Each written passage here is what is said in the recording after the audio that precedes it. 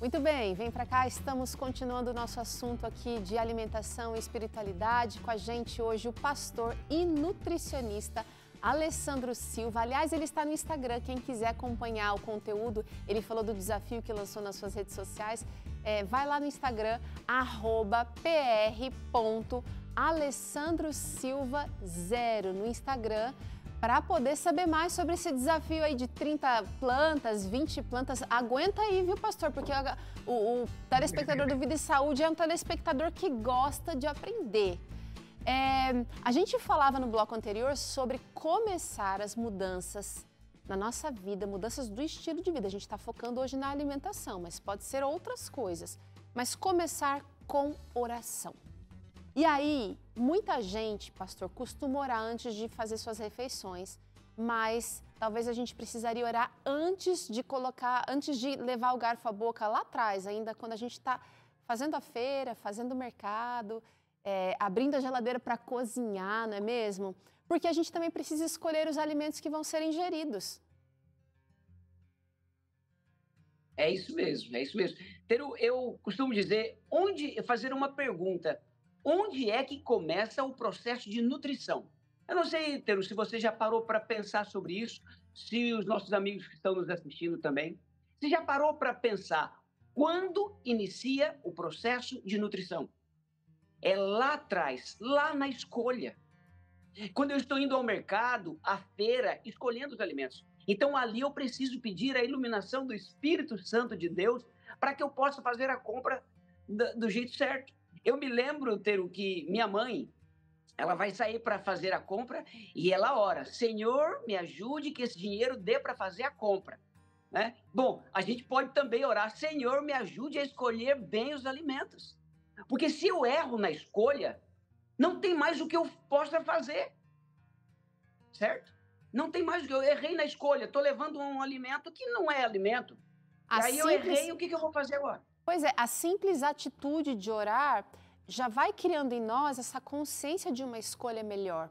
E é interessante, eu não sei se já aconteceu com você aí em casa, de repente se reuniu aí para fazer uma refeição e vai orar e só tem coisas nocivas na mesa. Já aconteceu comigo. Só tem pizza, só tem coisa. E você, eu fico constrangida de, de falar com Deus para pedir a bênção sobre aquele alimento que eu sei que faz mal.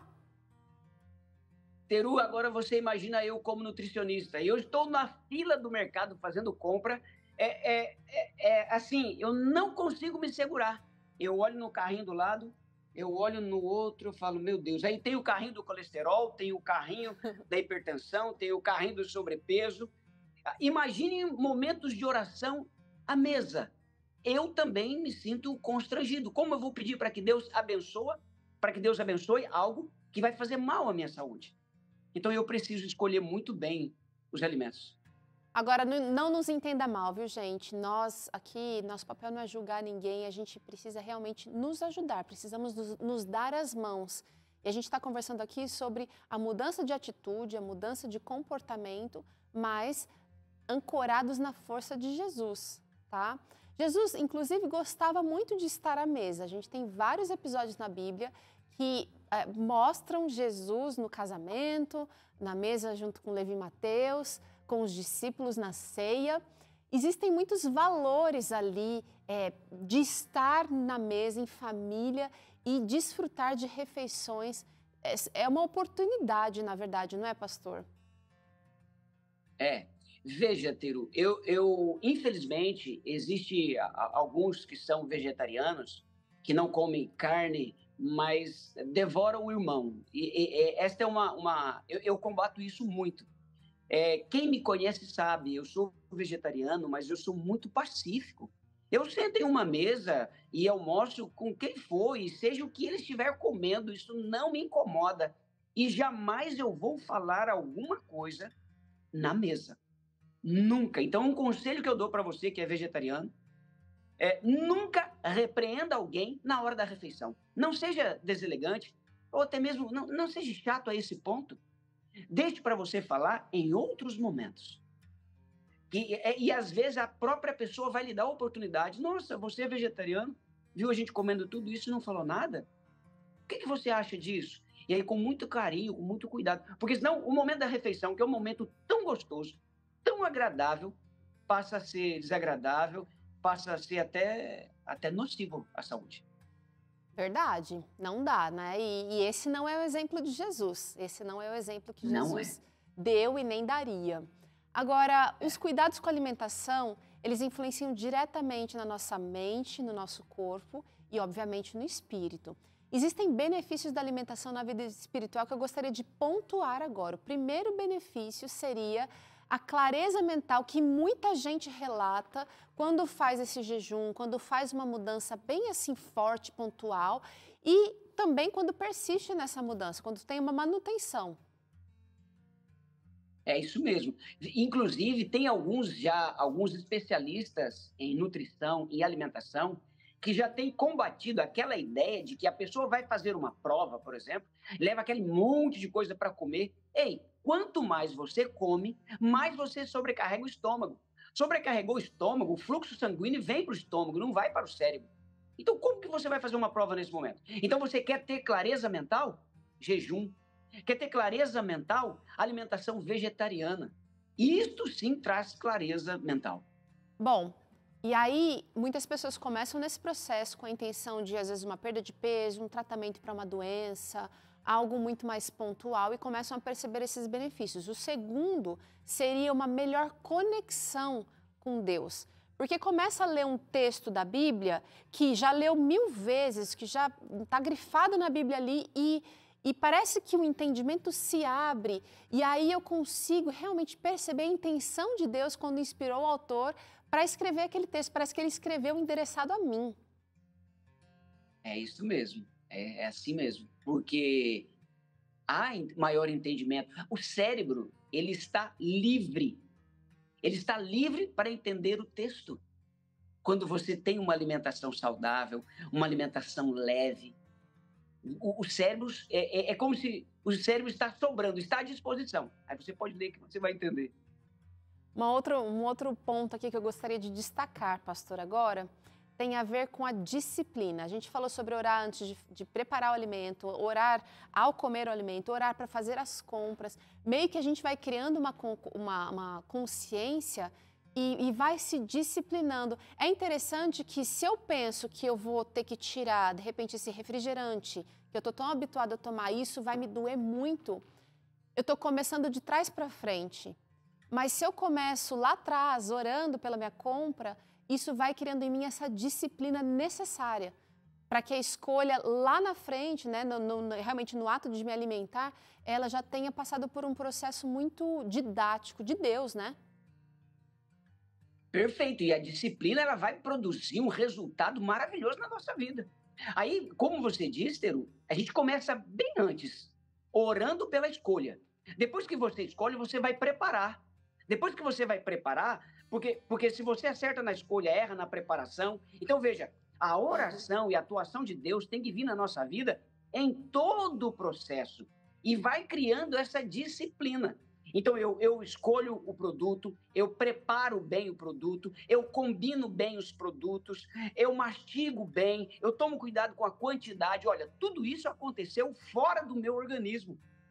E eu preciso da atuação do Espírito, do, do, do apoio de Deus para que eu consiga cumprir essa disciplina. E, logicamente, quando eu começo a cumprir essas disciplinas, vai chegar um momento que, quando eu for na feira escolher, eu vou escolher coisa boa, entendeu? É, é, eu vou dormir mais cedo, porque não combina com aquele que cuida da saúde dormir tarde, entendeu? Aí a disciplina vai trazer um resultado completo na nossa vida. E eu diria o seguinte: é, a preocupação com aquilo que a gente precisa deixar, a gente meio que está entregando para Deus. E é interessante ver e eu já experimentei isso muitas e muitas vezes. Deus transformando a minha vontade, que era muito clara em direção a alguma coisa, meio que dissolvendo aquilo, mudando para a direção que Ele agora está oferecendo para mim. Então a gente tem aí um, o corpo começa agora a, a obedecer essa inclinação que eu já me predispus, né? Eu começo a controlar esse corpo. E ter, existe algo no nosso organismo que é, Deus colocou em nós. Nós vamos em, é, é, envelhecendo o paladar nosso vai mudando para gostos mais amargos. E com isso, nós começamos a, a, a consumir alimentos que, no geral, a gente não consumia. Exatamente para quê? Para que a gente possa cuidar da saúde. Entendeu? Então é muito interessante isso. O próprio corpo é, é, é guiar, colocar, recebeu isso de Deus, entendeu? Para que a, o paladar sofra essa leve mudança. Os, quanto mais jovem, maior o apetite por doce. Quanto mais velho, maior o apetite por amargo. E, logicamente, que tanto a criança quanto o, o, adulto, todos os dois têm que cuidar da saúde. Mas qual que precisa ter um cuidado mais intenso? O adulto, o idoso, e o organismo dele já tem uma tendência, já, já se predispõe ao amargo.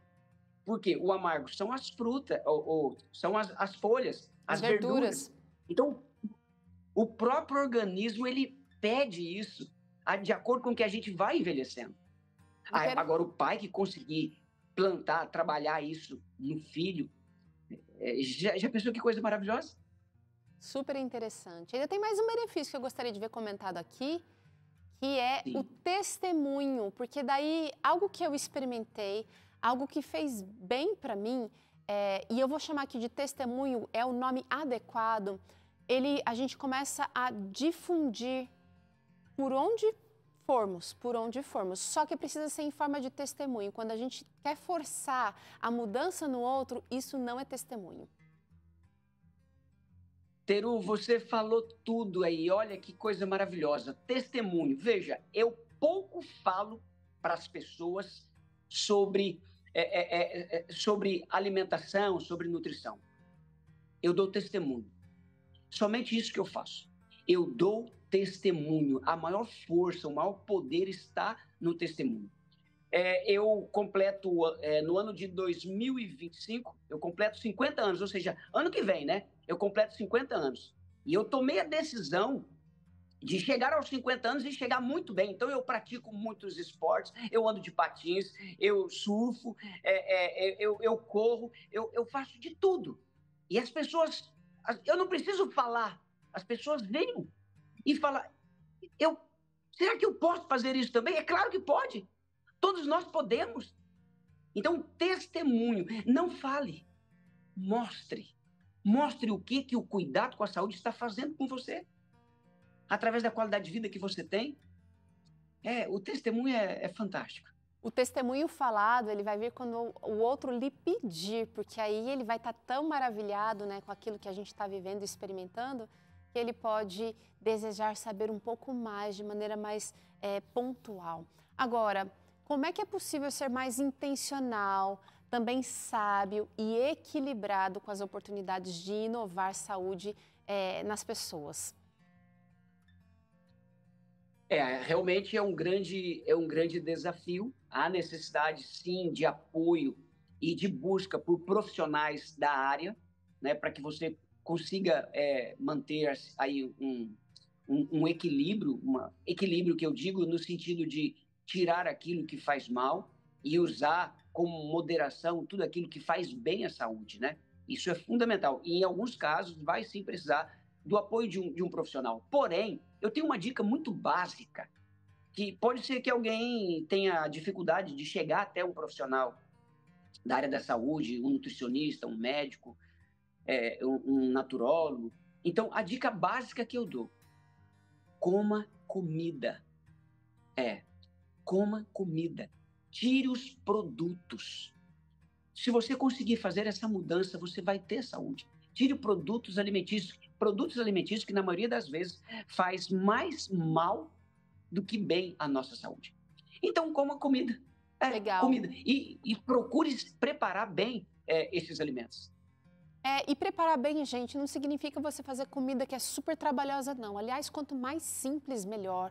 Quanto mais assim, Isso. menos tempo você gastar na cozinha, menos tempo melhor. elaborando, menos tempo limpando, melhor, porque a gente é, precisa lembrar.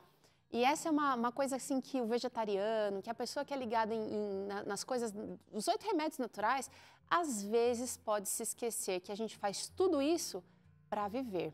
A gente não vive para essas coisas porque a gente precisa viver para espalhar o amor de Deus.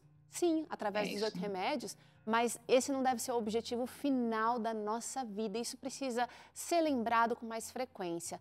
E, pastor, existe aí uma intencionalidade também, a igreja e as igrejas, as comunidades têm promovido mais palestras, almoços comunitários, almoços ou, ou refeições escolas. Isso tudo pode ser assim um grande aliado na, na promoção da saúde, não é?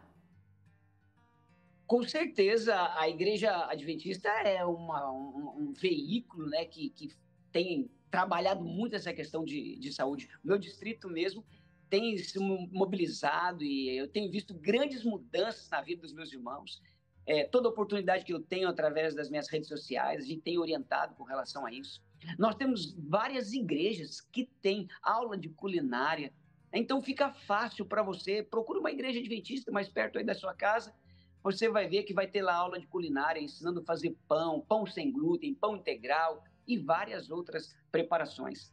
E, e você falou sobre é, o cuidado com a saúde e a alimentação mais simples, isso é fundamental. É, eu acho muito interessante em casa quando a gente vai lavar louça.